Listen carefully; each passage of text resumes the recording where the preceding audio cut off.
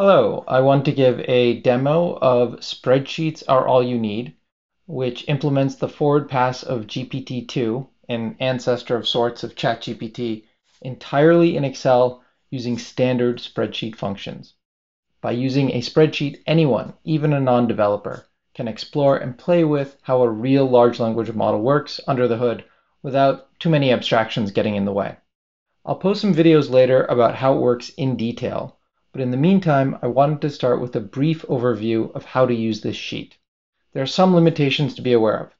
The implementation is just big enough to run some very small workloads, but it does implement the full GPT-2 small 124 million parameter model. Only the inference pass is implemented, so there's no training. There's only a 10 token context limit, and words are only limited to 10 characters. This is a very big sheet. Unfortunately, it's not unusual for Excel to lock up while using it, so I highly recommend going into Excel, going to the Formulas tab, oh, and speak of the devil, here's a lockup. I'll fast forward through these for your benefit. As I was saying, going to the Formulas tab, hitting the calculation options, and turning off automatic and switching it to manual. Okay, uh, let's walk over to uh, the first sheet, which is where you type in your prompt. And for comparison, I've got this script, which is a Python script that implements uh, GPT-2 small using the Hugging Face Transformers library, just outputs the first 10 characters, or sorry, the 10 tokens. So we're going to try it with a simple prompt. Mike is quick. He moves and then GPT-2 will just try and complete uh, the prompt. So he moves, you'll note this is the keyword quickly, which makes perfect logical sense.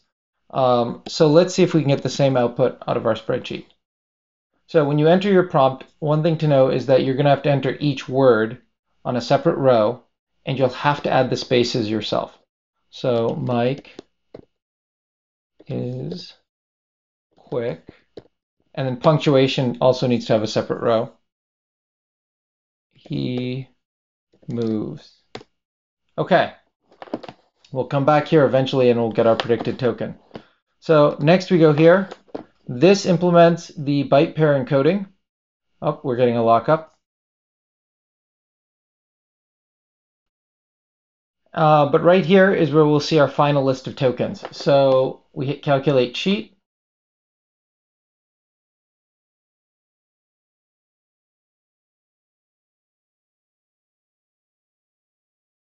And there we go. Here's our final token list. You'll see it right here.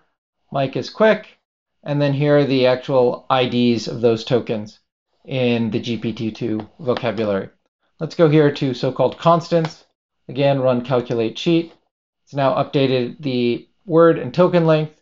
Um, these are the normal parameters for GPT-2 small in terms of number of embedding dimensions and number of heads. Let's move here. Uh, this will do the text and positional embeddings. So here are the text embeddings, and then here are the positional embeddings. We'll hit Calculate Sheet, and we can see the prompt tokens in this column, their IDs, and then the positional embeddings that get added onto those. Okay, now we move into the blocks. Each of these block sheets, and you can see there's 12 of them, like the 12 uh, blocks in GPT-2's architecture, implement both the multi-head attention, as well as the multi-layer perceptron. So if we hit calculate sheet, we'll see it's pulling in these numbers. You'll notice these numbers here, if you take a look, look at this 0.072. That's actually pulling the output of the positional embedding right here. So the positional embedding goes right into the first block. And then this block has 16 steps uh, that implement first the multi-head attention. Here are the queries, keys, and values. Uh, and here you can see the attention heads. Oh, I think we're getting another lockup.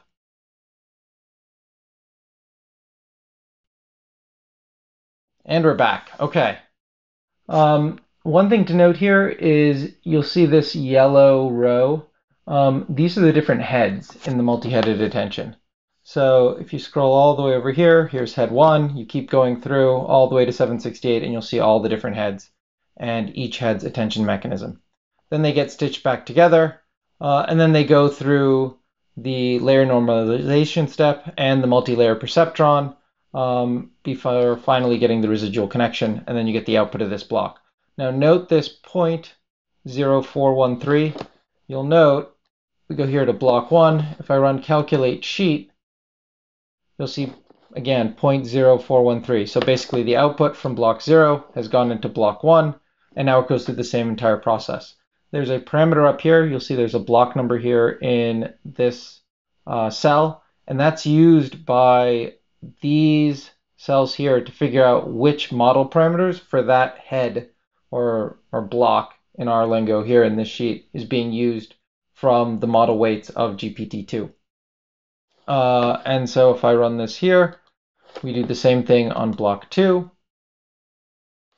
Then we go to block 3, which is pulling in from block 2. Then we go to block 4. I should really fast forward this part in the recording. Now to block 6. Now to block 7. Oh, another lockup. And we're back. Okay, block 7. Calculate sheet. Block 8. Block 9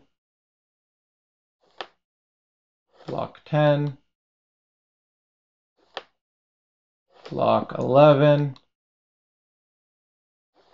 Okay, and then lastly we have a uh, layer normalization step, and then uh, we map it to the vocabulary and get the weights, and then we get a predicted token. And drumroll quickly. Okay, we're back. The rest of the sheets you see here, these are all the GPT-2 model parameters uh, for GPT-2 small. Uh, and that's basically the rest of the sheets here. The really big guy here is model uh, W text embeddings. Uh, that guy is really big. You're welcome to obviously click on these and understand how the formulas work. I'll be doing some videos that walk through it in detail uh, but in the meantime, that's enough to get you started. Okay, thank you.